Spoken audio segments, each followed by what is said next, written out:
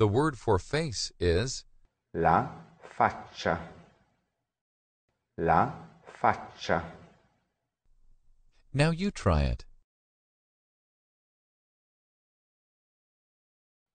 La faccia.